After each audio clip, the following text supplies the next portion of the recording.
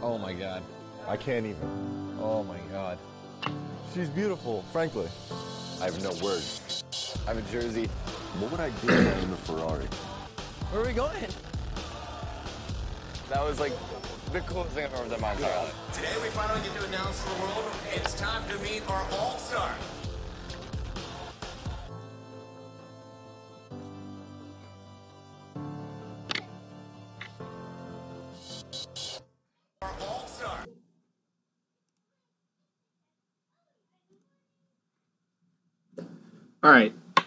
So, uh, welcome to the redo of tutorial number one for, um, we had a technical issue the last broadcast, but hopefully this one will uh, take care of some of that. This is um, lesson one on building a 3D crate in Blender. Uh, so this is what we are going to accomplish right now in uh, Blender. I'll show you what the finished product looks like for future video users.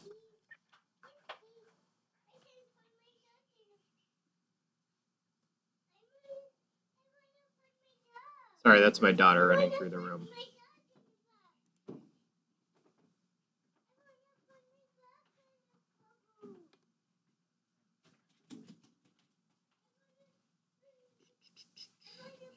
Let's let Unity open.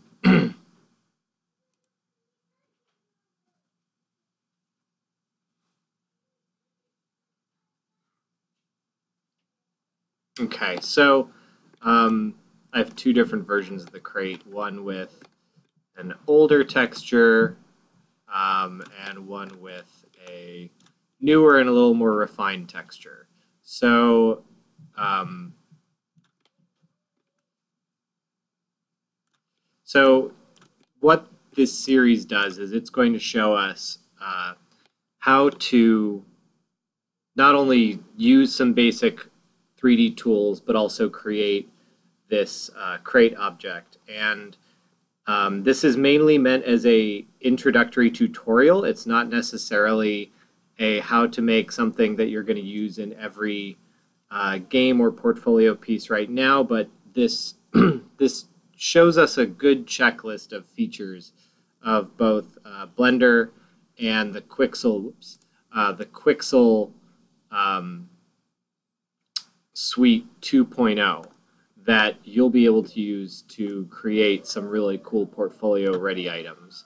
Um, and I'll go over why this is not quite portfolio ready, but um, as, as we go along. But for right now, again, this is going to show you a series of tools that you're going to be able to use to make your own uh, stuff. So let's dive right in. All right, so here we have a simple crate object, and the goal of this is to look at some basic modeling techniques as well as um, some modifiers and uh, a little bit of basic UV mapping. So, uh, well, in this this tutorial is not going to show the UV mapping. Later ones will, but uh, so this one is going to show some basic uh, modeling techniques. So you can see the the wireframe of this is pretty simple. Now, the reason that I say it's not a portfolio ready piece, again, I, I we're doing this so that you, uh, the learner, can see some basic techniques, including the use of modifiers. And, um, you know, so if we go up to the top uh, of the, the window here, uh, right below the actual top of the window bar, there's all this stuff up here, file, render, window, help, etc., etc.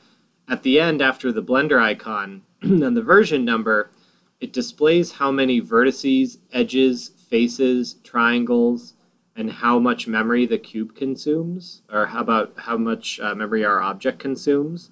And if we see our triangles, that's what uh, a lot of game objects are measured in when you discuss um, 3D modeled objects in games uh, among professionals, they're going to talk about the tris an object has. 620 is a little high for a, a, a crate.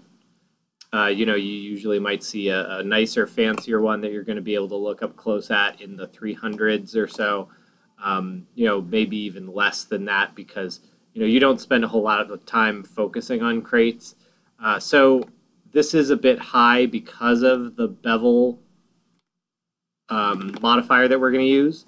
But again, uh, once you're done with this, you'll know how to use all these tools that you'll be able to then apply to some really cool stuff. So uh, let's get started. I'm going to start a new file, reload startup file. And let me just do a quick check on the Twitch channel to see if people are watching. Sorry. Okay, cool. There is a person. Um, great. Well, hello, person, uh, whoever you are. I can't have both windows up, but I'm glad somebody's looking at it right now. So, um, so we're starting with a basic cube. Now, let me explain how I got to this point. I, oops. All right, so typically Blender will start you off with this screen. This is what you see when you first open Blender. So uh, I'm not going to go through the entire entire interface. I'm going to try to, you know, talk my way through how I use all the keyboard shortcuts and things like that. Um, but what I will show you is uh, how to manipulate the interface a bit so that you can customize it to your liking. Uh, Blender is unique among a lot of other programs in that you can manipulate the interface in such a way that uh, you can lay it out the way you'd like. So not a whole lot of other 3D art programs do this. It's very useful because Blender actually has a number of different. So if I uh, take my mouse, go down to the lower left-hand corner of this 3D window, and you see this uh, cube, this little button with a cube and two arrows down in the lower left-hand corner of the 3D window, and I click it, I get this whole list. There's all these different editors. Now, most of these won't even be important to us in uh, this this uh, course, whether you're taking my in-person course or you've just found these YouTube videos. Um, but I can explain, you know, to give you some context, what all Blender has inside of it. Is a Python console so that you can write your own plugins in Python programming language. File browser, that's for looking at your files. Info and user preferences if you're hearing a toddler scream. My apologies, that's uh, it's bath time.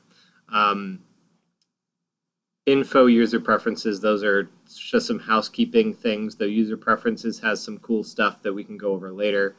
Outliner actually is open. It's a list of everything in your scenes. Uh, that's open by default in the upper right-hand corner of the screen. Uh, properties, that's on the right hand of the screen under the outliner, this is where we're going to be doing a lot of our object manipulation and use of modifiers and, and playing with materials and things like that. Logic editor, we never need that, but Blender actually has a game engine in it, a working game engine. Um, it's okay. Uh, it doesn't really export to many platforms, so it's not widely used, but it has a game engine, and that's how you program in it with that logic editor. Node editor is for some advanced material creation. Text editor is basically a notepad. Movie clip editor, you can edit movies in it.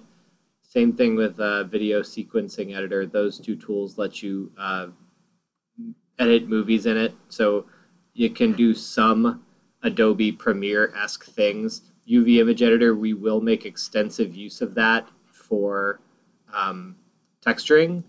NLA, that's for animation. We're not going to be covering some of that, not at least in this tutorial series. Um, and for games, because this is going to be a lot of game focused stuff, uh, you don't really often use the NLA. That's for if you're doing full on animation. Dope Sheet, you would use that in game animation.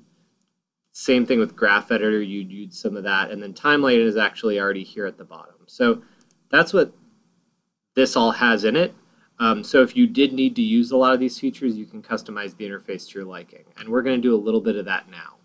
So I have one um, one window open to look at my 3D cube, but I like to work in front and side views. So I'm going to actually split this into two. The way I do this is I have my mouse over the actual 3D view, uh, the actual window within which I can see my 3D cube. So I'm going to go to the upper right hand corner of this, and there's going to be this little pattern where it looks like somebody scored the edge of or the upper corner of this with a knife or something. So you want to hover over that with your mouse and it'll turn into a plus sign.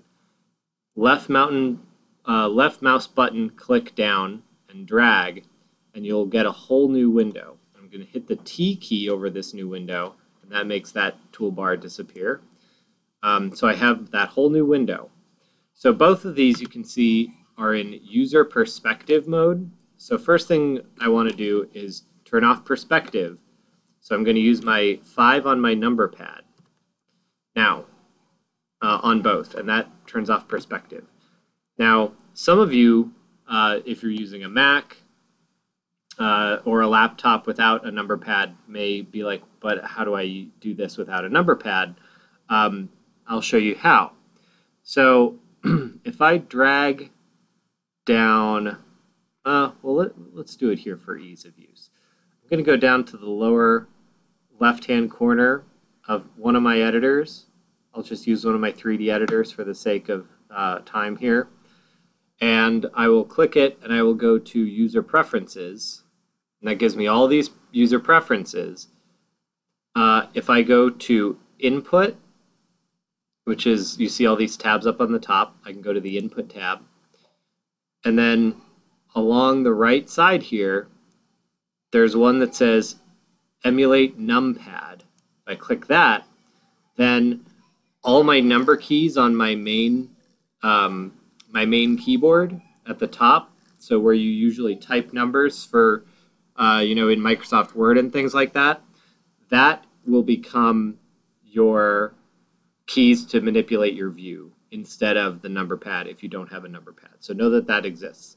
Um, for those who can't get over Blender's right click to, um, I'll actually go over some of the, the other basic controls here in a second, but uh, let's just say Blender uses right click to do most uh, selection operations. You really can't get over that, this is also where you can under select with, you can switch to left and right. Um, so you can make those changes if you'd like. I'm actually not going to make any changes because I have it set up the way I like it. Um, so how do we actually manipulate things in this here Blender? Uh, well, so I just showed you how to open up your interface, but the other thing, uh, you probably want to know how to look around at this cube. To do so, so the first thing you want to do is orbit. This is probably the most important viewing function in 3D art. To do this in Blender, you hold down your middle mouse button if you have a, a, mouse with a wheel, which you should. But you hold down your middle mouse button, and under those inputs, there actually is a, a selection for uh, emulating this with like shift and the left mouse button. But I highly recommend it's something like that. I can't remember what it is, but um, I highly recommend buying a cheap uh, three button mouse. I have a Logitech three button mouse uh, for you know it has no cord or anything. It's very nice, um, but I have it for like 15 bucks. So that's considering this is free software. That's a pretty pretty good deal um, to be able to use it with a good level of uh, of use. So middle mouse button, hold it down, move the mouse around, and you can orbit. So this is what you're going to do to look around your model. Um, you don't want to actually rotate the model. Uh, you just want to use the, the orbit function. To pan, um, you are going to hold down Shift and the middle mouse button. And then to zoom, it's just using the mouse wheel. The other thing you can do is hold down. Uh, there is a maybe I'm misremembering something. For for zoom, just use the middle mouse wheel. All right, so that's how to uh, manipulate the view. And then the other ways to manipulate the view, and I'm going to do something real quick here. Um, to uh, look at the front view, and I'm gonna in my left viewport here, I'm gonna look at the front front view. It's number pad, or if you've done the emulate num pad, uh, you know, it's number one, either on your numpad or if you're using the emulate numpad function on the top of your keyboard. Uh, and then on my right one, I'm gonna look at it from the right side. Well, yeah, uh, which, well, towards the right. It's actually looking at it from its left, uh, towards the right, and that is the three key. So one is front, three is right view. Uh, if you ever want to look at the top, that's seven. And if you ever want to turn on and off perspective, that is five. So remember that. Um, and then if if you uh, if you want to look at the back, so any opposite of these three main views, front, so, uh, front, right, or top, is control and that um, and that button. So control one is to look at the back. Control seven is bottom. Control three is to look at it from its right, looking towards the left.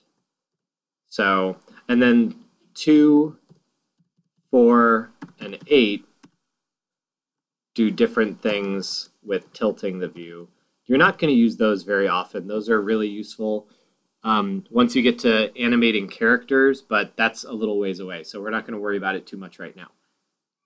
Um, so that's the basic view stuff. Uh, if we need anything from menus and stuff like that, we'll, we'll look at it in a context sensitive basis. So um, right now I'm going to, um, so I have my cube selected. Now to select things in Blender, you right click on them and that's really weird. And I'm going to tell you why you do that um, in Blender. So I, I click on it and so here I am right clicking away. So why right click? Well, there's this crosshair in the middle of this uh, of this cube and it has this sort of candy cane red and white line around it. And the reason for that is that it's an actual object. It's not just part of the interface. It is uh, called the 3D cursor. Now the 3D cursor is probably one of the weirdest parts of Blender compared to other programs, but also one of the, the coolest parts because once you really know what it does, once you have an idea of its versatility, you're um, you'll wish it was in everything. And it's hard to tell you exactly why. Um, you know, put uh, put you in situations where this would be incredibly, incredibly useful. So, for one example, um, I can use this drop down down here with the two little circles um, that looks like a Venn diagram. I could select 3D cursor. If I rotated this, I could have it use the 3D cursor as the center of rotation for this object. Now, why is that useful? Well, for this, it's really not useful. The most useful thing is median point, which was what it was already set to. But that's one example of a use of a 3D cursor that in other operations is really fantastic. Um, I use it quite a bit, again, when I do uh, more advanced character animation and stuff like that. So uh, what it is really cool for right now of immediate use to us is that if I hit Shift and A, and create a new object, let's say monkey, because who doesn't love to create monkeys, um, it appears where the 3D cursor was. So that's a really cool way for you to be able to specify um, where you want where you want uh, 3D stuff to occur. So, you know, that's pretty cool.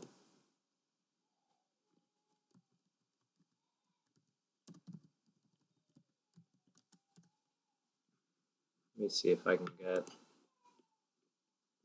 womp womp object font curve on font. Nope. Oh, I thought I was going to say monkeys. Oh well. Fine text. Um, so now that I've added a bunch of monkeys that we're not actually going to work with, I'm going to select my monkeys. Uh, so right click to select one, shift and right click to select another one. Um, and you'll notice, and this is important, but it's not going to seem important, but um, one has a more dull orange outline and one has a brighter orange outline. And the one with the brighter orange outline is quote unquote the active object, which means if I go into edit mode, it goes into the active objects edit mode. Just be aware when you have multiple objects selected which one is the active object because it matters when you do operations like this. Um, so I shift and selected uh, for both monkeys. So if you're a familiar, uh, a person familiar with Photoshop, uh, shift select is, you know, shift select is the uh, key of choice for multiple selections for these uh, types of programs. So that should be, uh, it, you know, if you're a art program user, that should not be totally new territory for you. Anyway, so we've shift selected. Now I'm going to hit the X key, and that's going to delete objects. So it'll say, do you want to delete? You'll say yes. Um, X is delete. You know, know that. That is very important because if you ever say want to delete um, a vertex, boom, vertex deleted. And then our, uh, or if you do something like that and didn't want to do it like I just did, I did want to do it, but oh no, pretend I didn't. What's wrong? I have to make a new box. No, I don't. Our old friend Control Z is here. Control Z is undo, which brings me to uh, one of our mindset lessons of 3D art is don't be afraid of the 3D art.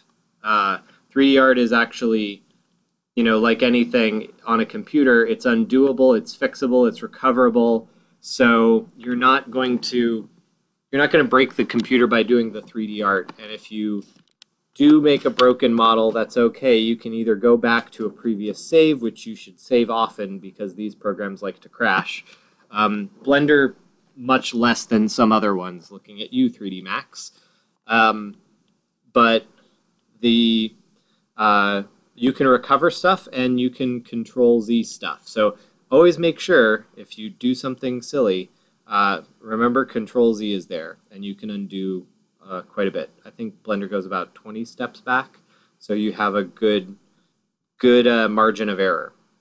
So uh, now we want to actually make a crate out of this thing instead of listening to me talk about interface and Control Z. So how do we do that? Well, I have my front and my right view. I'm going to call I'm going to call it side view. Just understand that side equals right. Um, and I'm going to hit the tab key. That's going to go into edit mode. So there's here we have different modes. There's object mode and edit mode. Object mode is when we manipulate objects at their uneditable level. So it's just kind of moving boxes around.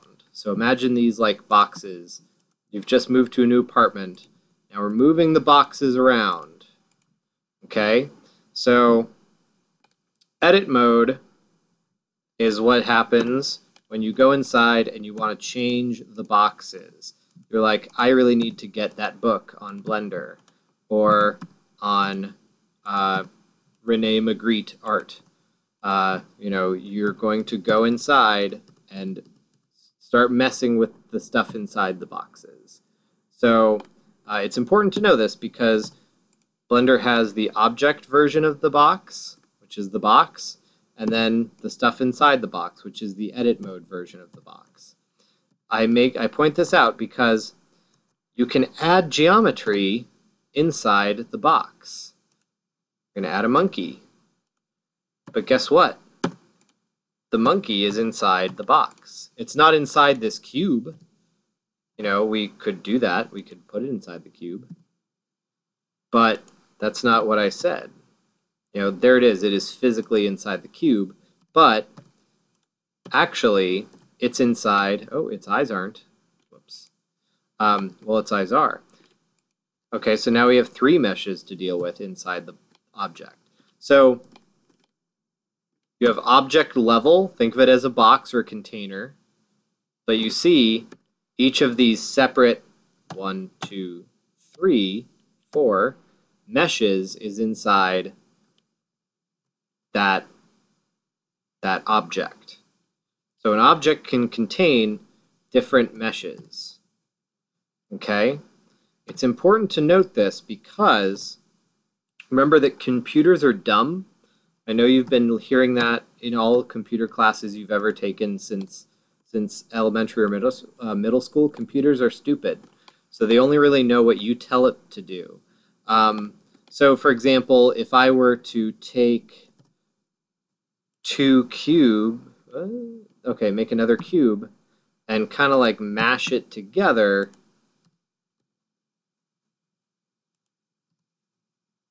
you know, the the the program isn't going to know that these two things are mashed together and combine them in any sort of meaningful way. It's just going to like position them next to one another, but they're still two distinctly different cubes. So, you know, you're you're not you've never commanded them to morph into one mesh. They remain two meshes, but they don't combine. They just happen to coexist in space. So remember that. Objects can contain multiple meshes. Okay? I know that's going to get, that's a weird way of thinking, but remember that when you're thinking about like how Blender works and how 3D art works. Because it's not just Blender that works this way. Other 3D programs work this way. Um, you know, they usually call these elements. So know that elements are a thing that can exist, and it's always uh, Blender's always going to treat elements as separate pieces unless you make them not separate pieces. Okay, so now we're going to model our crate with this box in edit mode, and we reach edit mode with the tab key. So we're going to model this in edit mode in such a way that it is going to be one mesh, one element. Okay, so we have our box, front view, side view. We are all educated in how Blender works conceptually um, as objects and editable meshes and stuff like that. So now we're going to get into the real meat of this. I'm going to hit the control key and the R key at the same time. And what does that do? Well, that brought up uh, mesh loop cut. Now it doesn't look like anything, so I'm going to go into a more 3D view. You don't have to do this. But for the sake of showing you what I'm doing, Control R. All right, so now I have this weird magenta line. What is it? So, and I can move my mouse around and it changes what axis, uh, axis it's on. Blah, blah, blah. Try saying that 10 times fast. This is um, the line, this is a function that lets you take a, imagine you had like an invisible katana, and we're gonna, uh, there's a lot of game makers in this course, so I'm going to, uh, you know, talk about katanas because that's cool. Um, so imagine I had a an invisible katana, and I'm going to just take a big swipe through our, our cube. That's what this is going to do. This is going to take a big swipe through our cube and make different geometry. So if I did that, new edges have been made that I can manipulate. See? So you're basically taking a big old cut right through the center of this. Now, let's say I don't actually want to have it right through the center, which I don't. I'm going to do this again. Control R. I'm going to do it with my, my handy dandy orthogonal view from the front because now you don't need to see what this does. Um, so vertical. So I now I'm going to move my mouse wheel up one uh, until that happens. Now what just happened? This means it's going to take two cuts because we are super fast ninja. Uh, we can take as many cuts as we want, in fact, um, but that's just silly. So we're not going to take that many cuts. We're going to we're going to make two cuts. So I click, and then it actually gets kind of slidey, and that's cool because uh, we want to be able to sometimes say where along the mesh we want to do that, except right now. So let's just hit escape, and it'll give me that. So now I'm going to hit S and X. Now S then X. And then I can scale. So S is scale this way. Okay, so now all I did was I cut and then I scaled so that this middle portion is very wide. All right, I'm going to do the same thing. I'm going to go back into my front view, Control and R. Then I'm going to go up one with my middle mouse button, left click, hit escape, scale Z, so S then the Z key to do it along the Z axis. So anytime you perform an operation, now when I say an operation, we already saw scale. Now in normal circumstances, scale does this. But now we've already seen some other cool uses of it. There's also move, which is G. So let me explain the logic of Blender's shortcuts for the most part, its shortcuts are the first letter that the thing you want to do begins with. Um, sometimes you just have to be creative in what what you want to do is. So G is grab and move. That's why I say you got to be creative. Uh, so that one stretches logic a little bit, but it's G. So uh, G grab, and that lets you technically this is called transform, but nobody calls it transform. They call it move.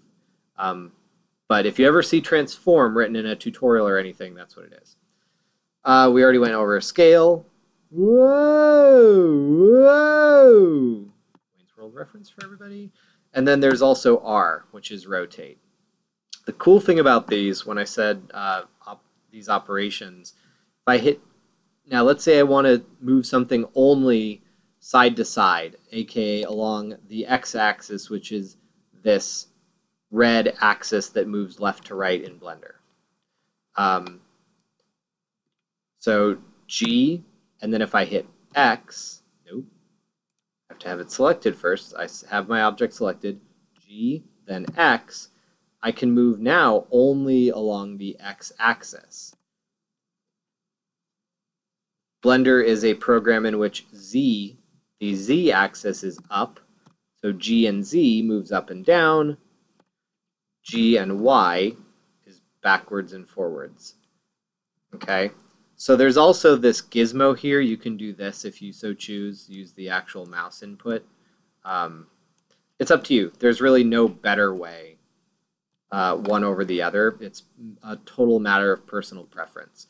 I find it a little faster for myself to use the the um, key to go G and X, but you know you may be a person that really just likes to manipulate the the gizmo. When I say the gizmo, I mean this this uh, this little transform thing with the different arrows here. So, all right, um, that's basic move scale rotate, I'm going to go back into edit mode. And there's our geometry as we left it. We still need to make some more loop cuts. I'm going to go into my right viewport.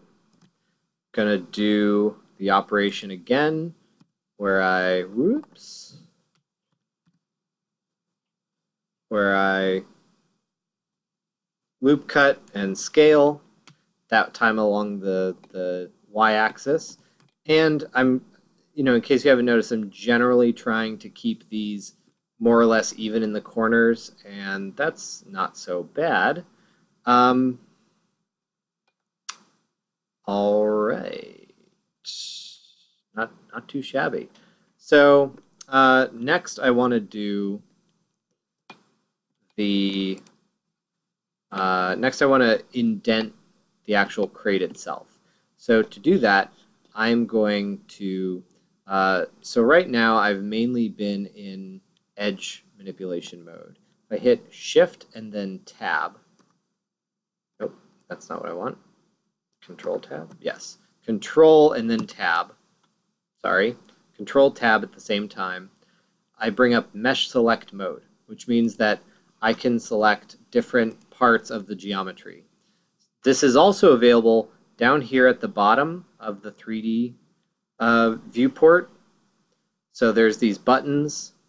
There's this one that says edit mode, then this circle one, which is actually how you can, like different ways to view. Um, we might mainly want to work just in solid, but I'll show you how to really quickly move between solid and wireframe here in a sec. Then there's all this stuff that we frankly don't really, uh, oh, well, these are just how you select move, scale, rotate, except, you know, we already know the shortcuts for those, but there's move, scale, rotate. Yeah, translate. Not just, it's not transform here, it's translate. So that's how you select those. And then you have vertex, edge, uh, face here. So vertex, think back to, um, you know, middle school or high school, whenever you took a geometry or like learning about basic geometric concepts. A vertex is a point. A vertex is a point in space. The line between two vertices, boom, boom, is an edge. So there's your edge. And then the connection between two edges, which also includes the edges that are created if you were to extrude an edge outward, like so, is a face. Okay, so again, Control Tab, you can manipulate either the points of an object, the edges of an object, or the faces of an object. And we'll go over, uh, I mean, you'll get a sense as you work when it's best to manipulate different types of objects. In this case, now that we want to extrude these pieces inward to make a more interesting looking crate, we're going to use the face manipulation mode. So again, if you haven't, Control Tab, Face, or down here, Face. So go back to front view. I'm going to hit the Z key by itself. That's going to go into wireframe mode. We want to go into wireframe mode because let me select my top face. I'm going to select my top face. I'm going to go into front. Look at it in wireframe mode with Z. All right. So I want to indent this, and I want to be pretty precise about it because I want this to look relatively uniform throughout. So I'm going to, uh, now with my top face selected, front with one, Z, wireframe, I'm going to hit the E key, and that's going to only let me go up and down because uh, when you extrude, E is for extrude, um, this is like the most technical episode of Sesame Street you've ever seen, basically. Um, when you use E for extrude, it only lets you go uh, perpendicular to like whichever way the face you were wanting to extrude was uh, was set into the object. So think about that. You know, it's automatically going to to give you that um, it's automatically going to make it perpendicular to it, which in this case is up and down straight. So um, I'm going to extrude inward about halfway between like the very top of this object and the cuts that we made. Okay, so I'm going to do grab a side, do the same thing. Now, this is really easy, so I'm not going to like go step by step through this. You've, you know, grab grab one of these bits, front, E for extrude. Da, da, da, looking for ones where I didn't do that. Okay, so in this case, I'm going to need to go into my side viewport, E extrude, and so 3D art, I'm going to tell you right now, is a lot of repetition and perhaps even one might say tedium. Um, but there we go. We have our crate. Now you can stop here, and actually, in most cases, this is good enough for a crate. Honestly, this is this is in most cases pretty decent. And then you can just put a cool texture on it, and your your game engine will probably have something in it so that the edges won't look quite so sharp, or you know you can change the the way it's shaded so it doesn't quite look so sharp. Um, but I want to show you one more thing. This will help give it sort of a sci-fi-ish look. Um, and that's using modifiers. So I'm going to hit tab to get it into object mode again. And then I'm going to go over to my uh, rightmost panel, which is the, um, what is this called? They always change the order of the list. Uh, or properties, properties, properties panel. And properties is going to have a bunch of different buttons on it that we will all care about at different points of the process. But right now, we care about the button that is one, two, three, four, five, six, seven uh, to the right. And it looks like a little wrench. If you're if you just if you missed where I am, I'm on the absolute right of the screen in the properties window. So ignore this list of stuff in the scene, the one below that. Right now I have this thing that says cube, cube, cube, normals, auto smooth, double sided, all that stuff. That's where we are. I'm going to select this button that looks like a wrench. It's called the modifiers panel. These are all called contexts. So I'm going to go to the modifier context. And it looks like a whole lot of nothing right now, except we are going to add a modifier. So I right click my crate to select it. I'm going to add a modifier and this list suddenly opens up. Now modifiers are things you apply to objects that don't actually manipulate the geometry. They're just going to um, give the geometry a layer of aesthetic addition in some way that give it the impression of having some um, some effect put on it. So let me show you an example. There's this one called subdivision surface. You don't have to add this one, but this is the one that makes things super smooth.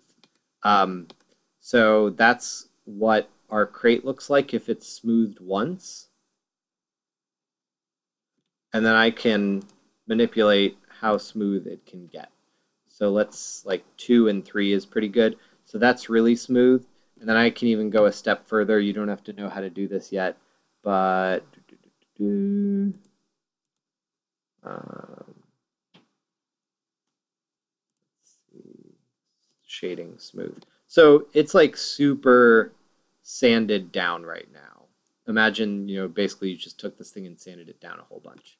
Um, so it's very smooth.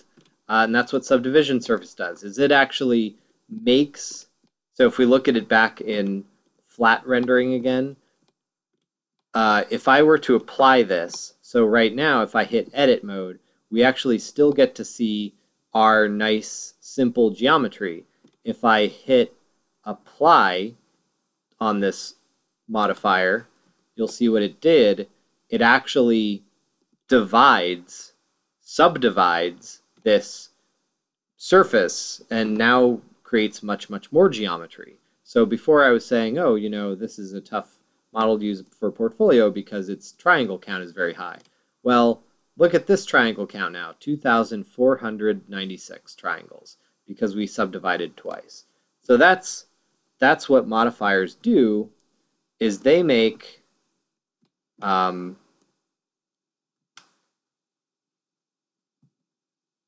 modifiers give you sort of a visual illusion without actually applying that to the geometry of the model. So that's what it does. You didn't have to, you know, don't put on subdivision surface uh, and then do what I just did and hit apply. And if you do that, then hit Control Z a bunch of times. Um, so that's what a modifier does. You know, it lets me do this and get the effect of doing things to the geometry without actually doing it. So I turn that off. Okay. All right.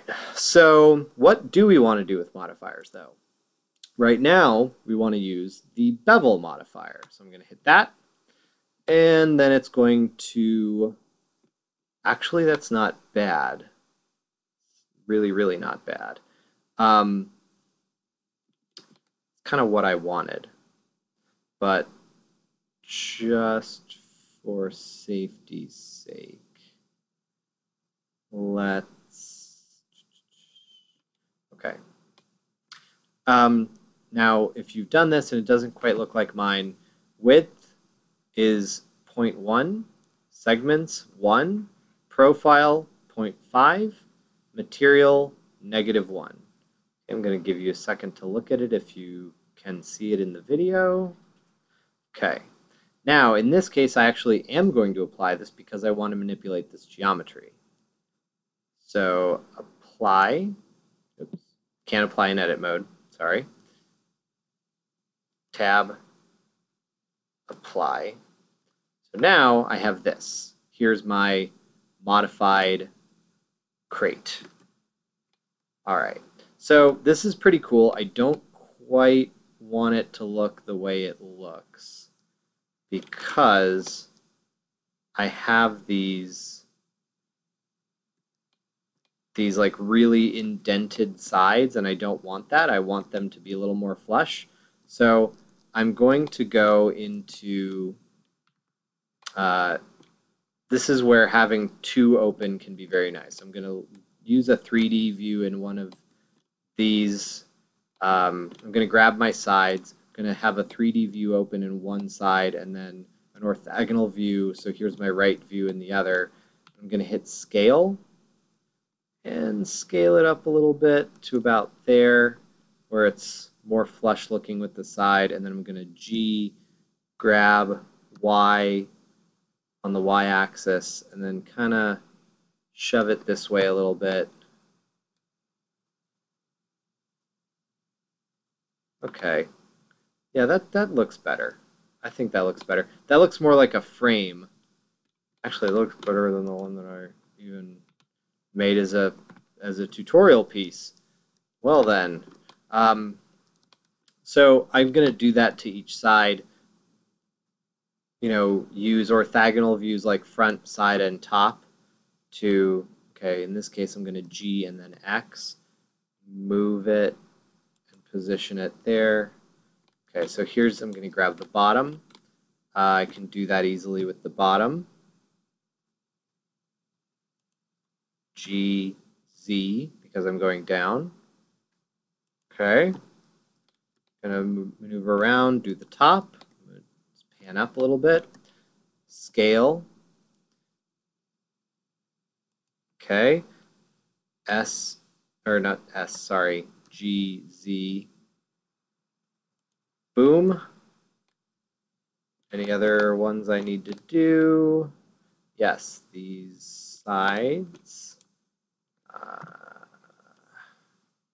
Okay, so in this case, in this right viewport is front ortho. Again, what I'm doing here is I'm breaking my rule of front and side and instead using one as a 3D view and one is just switching back between the different orthogonal views. So scale a little bit, G, X.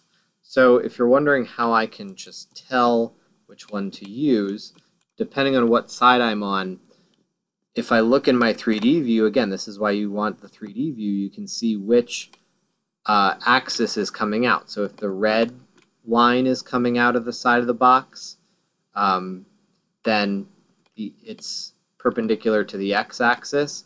If the green one is coming out of the side of the box, it's perpendicular to the y-axis. And where's my z-axis? My z-axis isn't really showing up, but you know, if nothing's coming out of it, then it's probably the z-axis.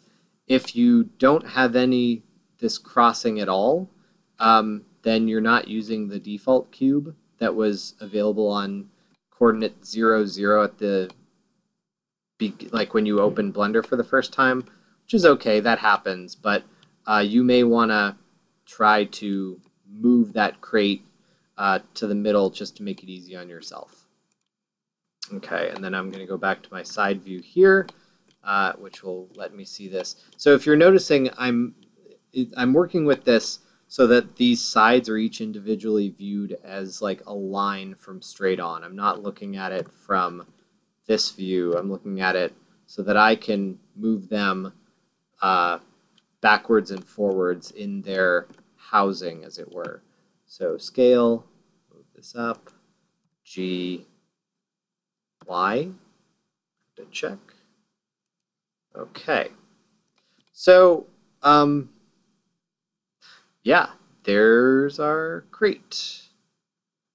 There it is in all its cratey glory. So the next video uh, in the series shows you how to manipulate, uh, how to use the uh, UV unwrap functions of this software, and I will leave you to that. I'm going to save this as a whole new file because I, I uh, want to have a version of this saved. Uh, so we're going to call this crate 06. Um, so you should save every time you make a major change. And I realize I didn't do it throughout this entire video. Um, but once you get really fast at this, this won't be like such a major change. Um, so you can easily do this very quickly. So I'm going to call this crate um, modeling redo because we redid this modeling. And then I like to date my file, so 09, 06, 16. I like to do that so that I can um, know how new models are. And if I'm working on mul multiple in a day, I'll just change the first numbering here. So if it was, if I was working on multiple in a day, I might call it Crate 07, Crate 08. Um, sometimes I like to put the step of the model here on my naming convention. So modeling redo, meaning this is a redo of the previous video. There's our date. And then I make a habit of putting my initials on models that I save uh, on their names just because if I am working in a team, then uh, if somebody has a question or needs something updated in a model, they can look at my initials and say, oh, Chris Totten worked on this, so I should ask him about it. And it makes uh, having a naming convention like this makes it very easy to work with models. So um, I'm going to save as a Blender file, and I guess that's it. Um, I hope this helped, and good luck.